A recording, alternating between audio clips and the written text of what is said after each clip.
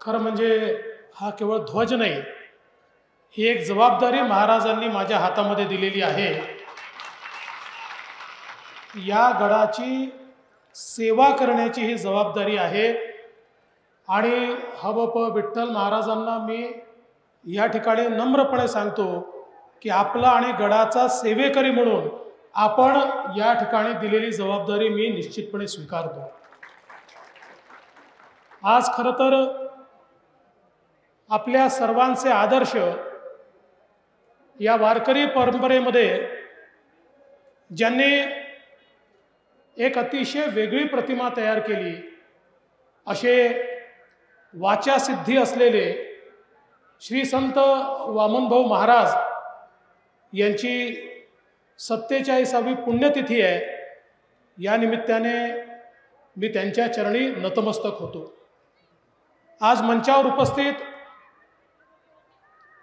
आपल्या या गडाचे महंत परमादरणीय हबप विठ्ठल महाराज त्याचप्रमाणे माजी मंत्री जयदत्त क्षीरसागरजी सुरेश अण्णा धसजी भीमराव धोंडेजी लक्ष्मणराव पवारजी बाळासाहेब आजबेजी मोनिकाताई राजळे दादाजी इद इदाते त्याचप्रमाणे साहेबरावजी दरेकर राजेंद्रजी म्हस्के अक्षयभाऊ मुंधडा कुंडलिकराव खांडे अजय धोंडे शंकर देशमुख धनराज गुट्टे मंचावर उपस्थित सर्व मान्यवर आणि या ठिकाणी उपस्थित सर्व माता भगिनी आणि बंधूंनो.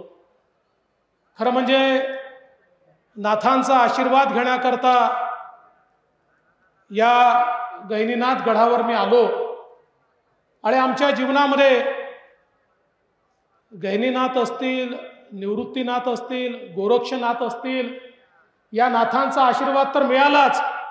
पण त्याचसोबत राजकारणामध्ये गोपीनाथांचाही आशीर्वाद आम्हाला मिळाला.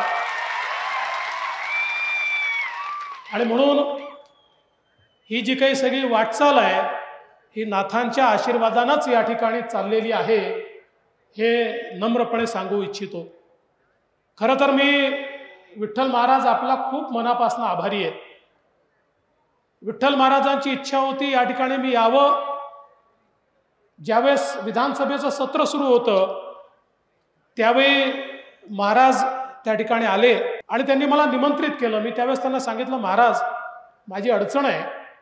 पंधरा तारखेलाच मला डावोसला जायचं आहे तिथे वर्ल्ड इकॉनॉमिक फोरम आहे आणि बहुधा मुख्यमंत्री जाऊ शकणार नाहीत.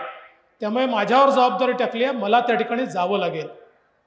महाराज म्हणाले ठीक आहे पण काही कारणाने गेले नाहीत तर तुम्ही जरूर या.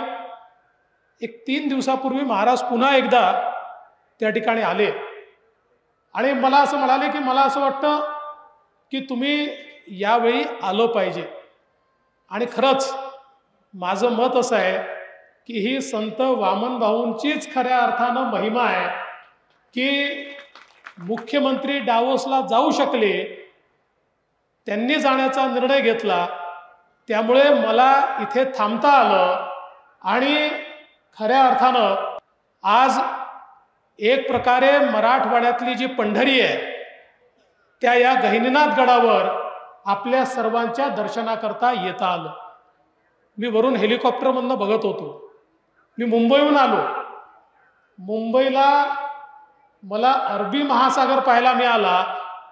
आणि गहिनीनाथ गडावर भक्तांचा महासागर मला हेलिकॉप्टरमधनं पाहायला मिळाला. मला त्याच ठिकाणी या गडाची जी महिमा आहे त्याचं प्रत्यंतर आपल्या उपस्थितीतून या ठिकाणी पाहायला मिळालं. आणि आपण जे लोक या ठिकाणी उपस्थित आहात ते तर आहातच. पण कितीतरी किलोमीटर वाहन आहेत लोक आहेत चालतायत येत आहेत ही सगळी परिस्थिती बघितली. आणि मला खरोखर आनंद झाला शेवटी आपल्या मनात काही असलं तरी ईश्वराच्या मनात जेव्हा दर्शन द्यायचं असतं तेव्हाच ईश्वर आपल्याला बोलवतो. वामन भाऊंच्या मनामध्ये आजच मी त्यांचं दर्शन घ्यावं हे असल्यामुळे मला असं वाटतं की आज त्यांचं दर्शन घेण्याची संधी या ठिकाणी मला मिळाली. आणि खरोखर मला असं वाटतं की ही जी काही एक नाथ संप्रदायाचं एक मूळ जे या ठिकाणी आहे वारकरी संप्रदायाचं जे मूळ या ठिकाणी आहे त्या वारकरी संप्रदायाच्या या संपूर्ण परंपरेमध्ये म्हणजे निवृत्तीनाथांपासनं तर माऊलींपासनं ज्ञानेश्वर माऊलींपासनं तर तुकाराम महाराजांपर्यंत ही जी काही परंपरा आहे आज खऱ्या अर्थानं आमचा देश आमचा देव आणि आमचा धर्म हा जर कोणामुळे वाचला असेल तर तो या वारकरी परंपरेमुळे या ठिकाणी वाचला हे देखील आपण सगळ्यांनी समजून घेतलं पाहिजे. सातत्याने आक्रमण होत असताना आणि या आक्रमणामध्ये महाराष्ट्रामध्ये अंधकार तयार झाला असताना छत्रपती शिवरायांनी स्वराज्याची मशाल पेटवली आणि या महाराष्ट्रामध्ये आणि देशामध्ये स्वराज्य स्थापन केलं. पण ज्यावेळेस रात्र अंधारी होती आणि ज्यावेळी शिवबांची आपण वाट पाहत होतो त्याही वेळी महाराष्ट्र धर्म हिंदू धर्म जागृत ठेवण्याचं काम आमचा वारकरी संप्रदाय करत होता. कितीही अत्याचार झाले तरी देखील पंढरीची वाट कधी चुकली नाही. किती अडचणी आल्या तरी विठ्ठल नामाचा गजर हा कधी संपला नाही. आणि म्हणूनच आज जे संस्कार जिवंत आहे जी संस्कृती जिवंत आहे ती केवळ आणि केवळ आमच्या वारकऱ्यांमुळे आमच्या वारकरी संप्रदायामुळे जिवंत आहे. आणि मला खरोखर ज्यावेळेस मी बघितलं की इथनं पंढरीला इतक्या मोठ्या प्रमाणात आमचे सगळे वारकरी जातात. एक मोठी परंपरा आहे. मला आठवतं दोन हजार एकवीसला विठ्ठल महाराजांचा मलाही फोन आला होता. मी विरोधी पक्ष नेता होतो. ते असं म्हणाले की अहो इतक्या वर्षाची परंपरा कधी खंडित झाली नाही आहे आम्ही काही असलं तरी त्या ठिकाणी पंढरीला इथनं वारी घेऊन पालखी घेऊन जातोच. पण यावर्षी सरकार आम्हाला परवानगी देत नाही आहे आम्ही देखील प्रयत्न केला. परंतु जी काही कारणं झाली असतील त्यावेळी सरकारने पाहिजे त्या प्रमाणात परवानगी दिली नाही. पण मला असं वाटतं पंढरी ही आपल्या सगळ्यांच्या मनामध्ये आहे.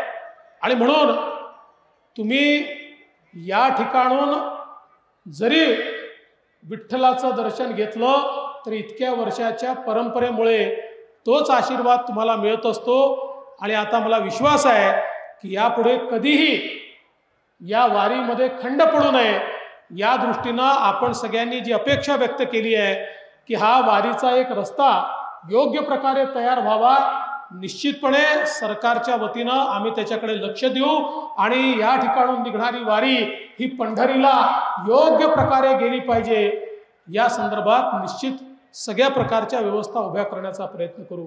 मला आठवतं दोन हजार सतरा साली त्यावेळेस आपल्या पालकमंत्री पंकजाताई मुंडे होत्या. त्यांनी आणि मी आम्ही हा निर्णय केला. भीमरावजी देखील होते धोंडे साहेब की इतक्या मोठ्या प्रमाणात गडावर लोक येतात तर या गडाचा विकास झाला पाहिजे. गडाला काही नको आहे. विठ्ठल महाराजांनाही काही नको आहे. आणि वामनभाऊ महाराजांमध्ये तर एवढी शक्ती आहे की आपल्याला पाहिजे ते त्यांच्या वाचेने ते देऊ शकत होते. परंतु व्यवस्था करायची आहे ती येणाऱ्या भाविकांची करायची आहे. आणि म्हणून आपण त्यावेळेस आराखडा मंजूर केला होता. काही कारणाने तो आराखडा पूर्ण होऊ शकला नाही.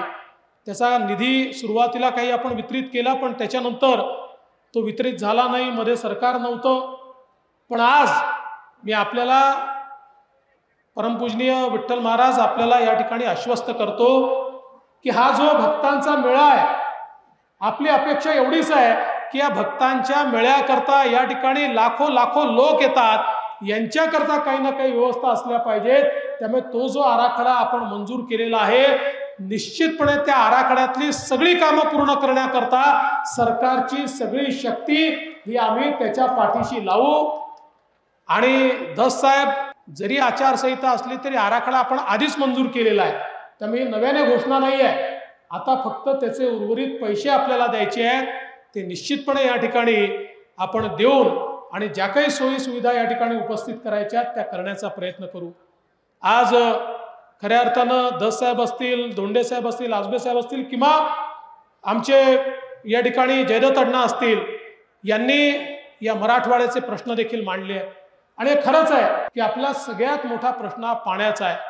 आणि म्हणून मागच्या काळामध्ये मुख्यमंत्री असताना प्रयत्न करून त्या ठिकाणी जे काही समुद्रात वाहून जाणारं पाणी आहे ते गोदावरीच्या खोऱ्यामध्ये आणून आमच्या मराठवाड्याला सुजलाम सुफलाम करण्याचा निर्णय आपण घेतला त्याचा सगळा आराखडा आपण तयार केला.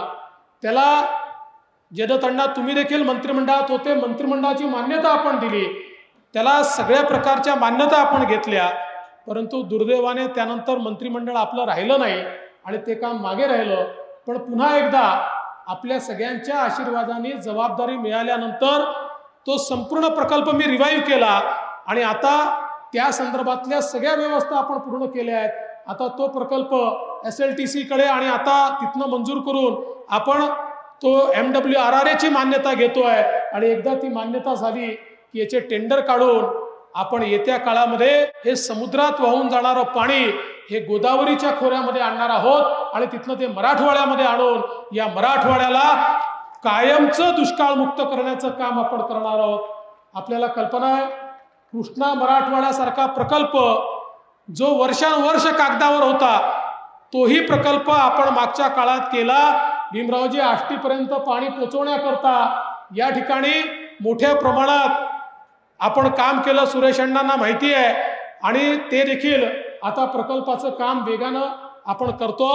त्यामुळे मी आज या निमित्ताने खऱ्या अर्थानं श्री संत वामन भाऊंनाच आशीर्वाद मागतो. की वामन भाऊंनी आम्हाला एवढी शक्ती द्यावी की वर्षानुवर्ष या ठिकाणी दुष्काळाने होरपवलेला हा मराठवाडा सुजलाम सुफलाम करण्याकरता आणि या ठिकाणी पाणी आणण्याकरता जे भगीरथ प्रयत्न आहेत त्या भगीरथ प्रयत्नांना आशीर्वाद मिळावा अशा प्रकारचा आशीर्वादच आजच्या कार्यक्रमाच्या निमित्ताने मी श्री संत वामन भाऊ यांच्याकडनं या ठिकाणी मागतो.